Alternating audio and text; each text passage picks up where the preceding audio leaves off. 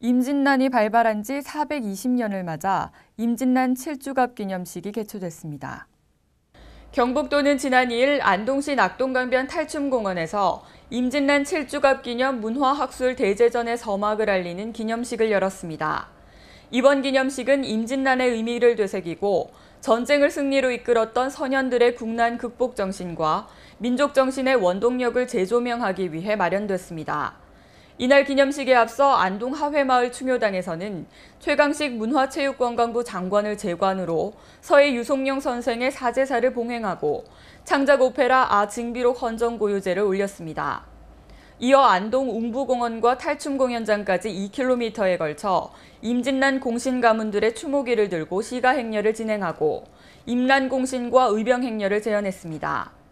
또 기념식에는 김관용 경북도지사를 비롯한 각 기관단체장과 문중 대표 등 2천여 명이 참석한 가운데 임진난 희생자를 추모하는 영상물 상영과 헌장 및 헌화에 이어 기념사와 다채로운 공연이 진행됐습니다.